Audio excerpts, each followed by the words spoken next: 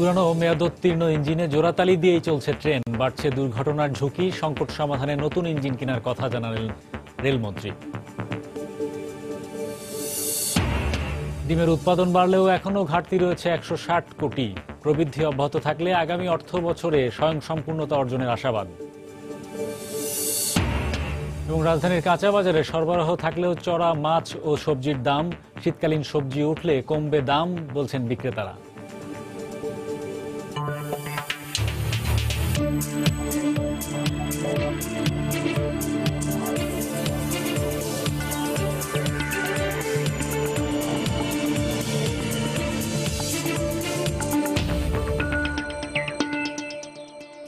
দেখছিলেন শিরোনাম। আমন্ত্রণ জানাচ্ছি দেশ ও দেশের বাইরের অর্থ বাণিজ্যের নানা খবর নিয়ে। আমাদের নিয়মিত আয়োজনে সময়ের বাণিজ্যে। আপনাদের সঙ্গে আছি আমি হরিপদ সাহা। স্বাধীনতার সময় রেলওয়েতে লোকোমোটিভ বা ইঞ্জিন ছিল চারশো ছিয়াশিটি।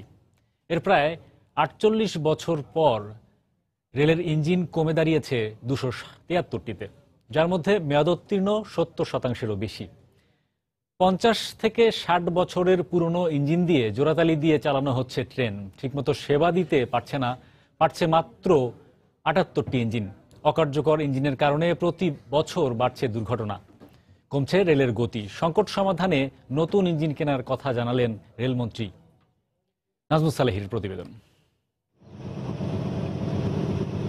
বাঁশের খুঁটি বাঁধার সাধারণ জিআই তার দিয়ে ব্রেক জোড়া লাগানো এই ইঞ্জিনটি বগিগুলো টেনে নিয়ে যাচ্ছে ওয়াশ ফিডে।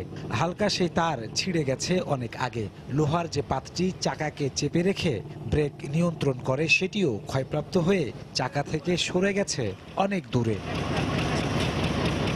ইঞ্জিনটির অন্য চাকার ব্রেকও একই রকম তার দিয়ে বাধা। প্রায় চল্লিশ বছর আগে জাপান থেকে কেনা ইঞ্জিনটির মেয়াদ শেষ হয়ে গেছে আরও বিশ বছর আগে। ডেট ফেল হয়ে গেছে ডেট শেষ। এই যে এগুলা জায়গা নাকি জয়েন্ট পুরো ওয়েল্ডিং করা নাটের চলে গেছে। ঝুঁকি না? ঝুঁকি না এটা তো মারাত্মক ঝুঁকি স্পিডে চলেই নাই। ওয়ার্কশপের ভেতরে গিয়ে দেখা যায় দশ থেকে বারোটি ইঞ্জিন মেরামতের জন্য আনা হয়েছে। তবে যাত্রার পূর্বে নিয়মিত পরীক্ষার অংশ হিসেবে দু একটি ইঞ্জিন থাকলেও বেশিরভাগ ইঞ্জিনেরই যান্ত্রিক ত্রুটি ভয়াবহ রকমের। যতগুলো ইঞ্জিন আছে সব দিয়ে অকেজ। কোনো রকমে আমরা খালি জোড়া তারা দিয়ে আমরা কাজ চালাই আছি। এছাড়া তার কোনো উপায় নেই। উনিশশো উনসত্তর সত্তর সালে রেলওয়েতে ইঞ্জিনের সংখ্যা ছিল চারশো ছিয়াশিটি। স্বাধীনতার পঞ্চাশ বছরের কাছাকাছি সময় এসে তা কমে দাঁড়িয়েছে দুইশো তিয়াত্তরটিতে। মেকানিকরা বলছেন ইঞ্জিনের কার্যকাল ২০ বছর হলেও রেলবহরে চল্লিশ পঞ্চাশ এমনকি ষাট বছরের পুরনো ইঞ্জিনও আছে। এখানে সর্বোচ্চ কত বছর আগের ইঞ্জিন আছে? পাকিস্তান আমলে ইঞ্জিন আছে এখানে ওই ওটা পাকিস্তান আমলে ইঞ্জিন। একটা ইঞ্জিনও ভালো নাই কে। জোরালি চলছে। বাংলাদেশের মাল দেয় দুই দুই নম্বর। মেয়াদ উত্তীর্ণ ইঞ্জিনের কারণে রেলের গতি কমার পাশাপাশি পুরো রেল ব্যবস্থাকে ঝুঁকিপূর্ণ করে তুলছে বলে মনে করেন এই যোগাযোগ বিশেষজ্ঞ।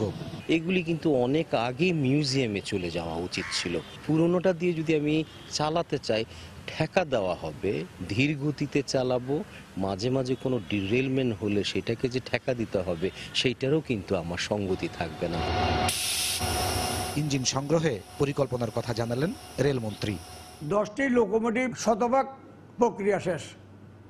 টেন লোকোমোটিভ এডিবির অর্থায়নে অতি তাড়াতাড়ি আমাদের বহনে আসবে। সম্প্রতি কোরিয়া থেকে সত্তরটি ইঞ্জিন কেনার চুক্তি করেছে রেলপথ মন্ত্রণালয়। দু হাজার এগারো সালে প্রায় দুই হাজার কোটি টাকা ব্যয়ে সত্তরটি ইঞ্জিন কেনার প্রকল্প নিলেও বাস্তবতা হচ্ছে সাত বছরে সেই প্রকল্প থেকে আসেনি একটিও ইঞ্জিন, বরং বরাদ্দকৃত টাকার খরচ হয়ে গেছে একশো কোটি। নাজমুস সালেহি, সময় সংবাদ, ঢাকা। কোনো প্রয়োজনেই পাহাড়ের মাটি না কাটার জন্য সরকারের সংশ্লিষ্ট বিভাগগুলোর প্রতি নির্দেশ দিয়েছেন প্রধানমন্ত্রী শেখ হাসিনা। গতকাল রাজধানীর শেরে বাংলা নগরের এনইসি সম্মেলন কক্ষে একনেক সভায় তিনি এ নির্দেশনা দেন। সভা শেষে অনুষ্ঠিত সংবাদ সম্মেলনে তথ্য দেন পরিকল্পনা মন্ত্রী আহমা মুস্তফা কামাল। চলতি অর্থ বছরের দশম সভায় চোদ্দ হাজার দুশো কোটি টাকার সতেরোটি প্রকল্পের অনুমোদন দিয়েছে জাতীয় অর্থনৈতিক পরিষদের নির্বাহী কমিটি একনেক। এর মধ্যে ওয়াসার রাজশাহী অঞ্চলের মাটির উপরিভাগের পানি শোধনাগার নির্মাণে ব্যয় ধরা হয়েছে চার হাজার বাষট্টি কোটি টাকা। সভায় অনুমোদন পেয়েছে এক হাজার দুশো উনত্রিশ কোটি টাকা প্রাক্কলিত ব্যয়ের চট্টগ্রাম সিটি কর্পোরেশনে সড়ক নেটওয়ার্ক উন্নয়ন ও বাস টার্মিনাল নির্মাণ। দুই হাজার পাঁচশো একান্ন কোটি টাকার চট্টগ্রাম অঞ্চলের বিদ্যুৎ বিতরণ ব্যবস্থা উন্নয়ন প্রকল্পটিও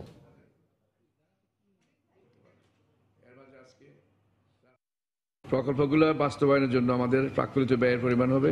চোদ্দ হাজার দুইশো কোটি টাকা। চট্টগ্রামে মাঝে মধ্যে আমরা দেখেন, পাহাড়ের নিচে মানুষ পড়ে যায় পরে মানুষ জীবন হারায়। তো এই জন্য মাননীয় প্রধানমন্ত্রী, তিনি নির্দেশনা দিয়েছেন যেন পাহাড়ের মাটি না কাটা হয়। পাহাড়ের মাটি কাটা হলে পাহাড় বেশ হারিয়ে ফেলে আরও বৃত্তি দুর্বল হয়ে যায় সেই জন্য এগুলোতে ল্যান্ডস্লাইড হয়। প্রাণীজ আমিষের অন্যতম সহজ উৎস ডিম, তবে ক্রমবর্ধমান চাহিদার সাথে এখনও তাল মেলাতে পারেনি এর উৎপাদন। প্রাণী সম্পদ অধিদপ্তর বলছে, গেল দুই অর্থ বছরে ডিমের উৎপাদন বেড়েছে প্রায় তিনশো ত্রিশ কোটি পিস, তারপরও ঘাটতি একশো ষাট কোটি। ডিম উৎপাদনের প্রবৃদ্ধি অব্যাহত থাকলে আগামী অর্থ বছরেই স্বয়ংসম্পূর্ণতা অর্জন করা সম্ভব বলে মনে করছেন তারা। তবে উৎপাদন বৃদ্ধির সুফল পেতে ডিমের পুষ্টিগুণ সম্পর্কে সচেতনতা বাড়ানোর পরামর্শ পুষ্টিবিদদের। আর ন্যায্য মূল্য নিশ্চিতের আহ্বান খাত সংশ্লিষ্টদের শুভ খানের রিপোর্ট। তিন দশক আগেও তেমন একটা সহজলভ্য ছিল না হাঁস মুরগির ডিম। সময় বদলেছে, এখন হাতের নাগালে ডিম পাচ্ছেন ভোক্তারা। প্রতিদিনের খাদ্য তালিকায় মাছ মাংসের সাথে যুক্ত হয়েছে ডিমও। পাশাপাশি ব্যবহার হচ্ছে বেকারির বিস্কুট, কেক, পুডিং সহ বিভিন্ন খাদ্যপণ্য তৈরিতেও।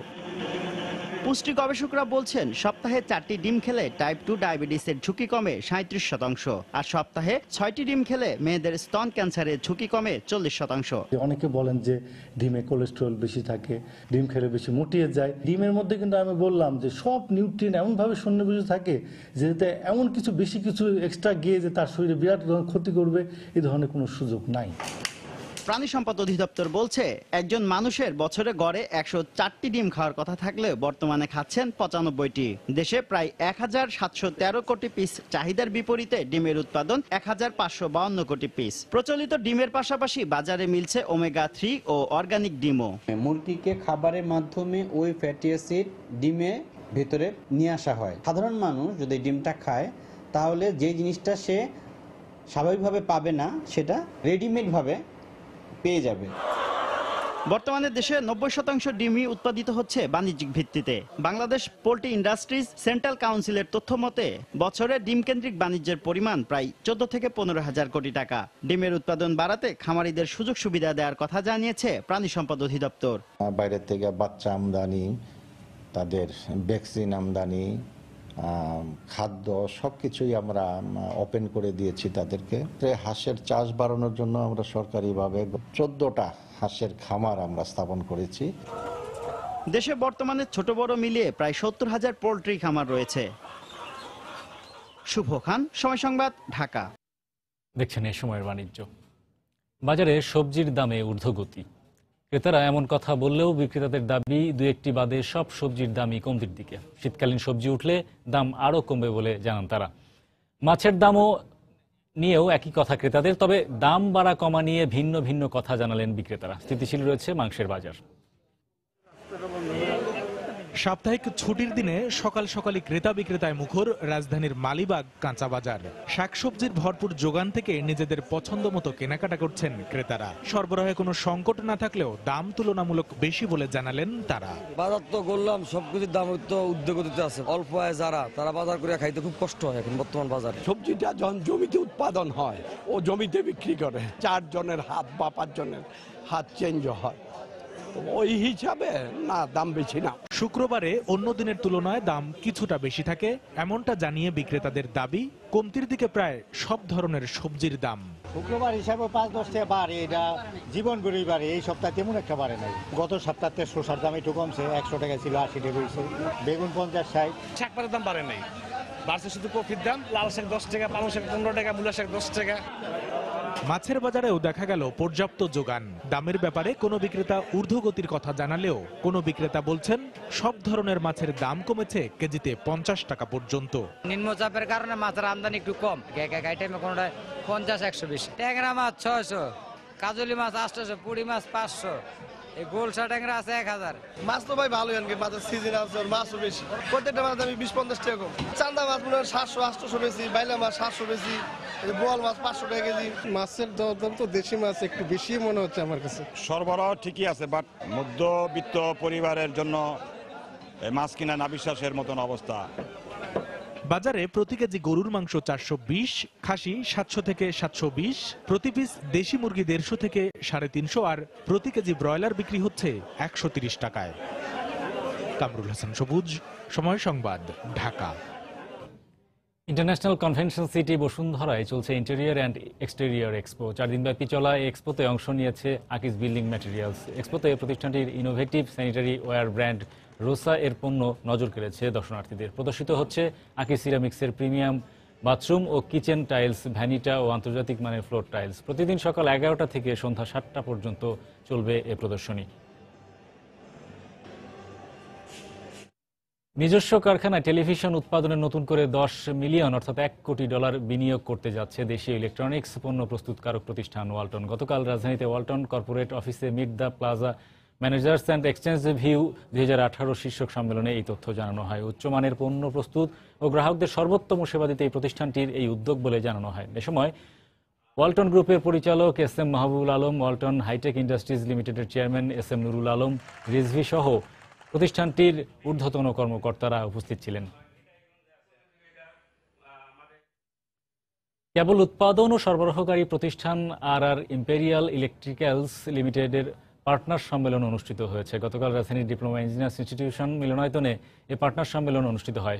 কমিটেড কানেক্টেড এই পদ- প্রতিপাদ্যকে সামনে রেখে এবারের পার্টনার সম্মেলনে টেকসই উন্নয়ন লক্ষ্যমাত্রা অর্জনে পার্টনারদের নিরাপদ, বৈদ্যুতিক কেবল উৎপাদন ও সরবরাহের কথা আহ্বান জানানো হয়। এ সময় কোম্পানির চেয়ারম্যান শ্রী ত্রিভুবন প্রসাদ কাবরা, ব্যবস্থাপনা পরিচালক এম হারেস আহমেদ সহ ঊর্ধ্বতন কর্মকর্তারা উপস্থিত ছিলেন।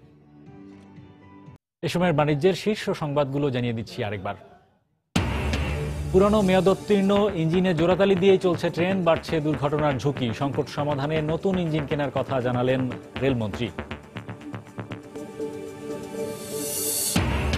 ডিমের উৎপাদন বাড়লেও এখনও ঘাটতি রয়েছে একশো ষাট কোটি। প্রবৃদ্ধি অব্যাহত থাকলে আগামী অর্থ বছরের স্বয়ংসম্পূর্ণতা অর্জনের আশাবাদ।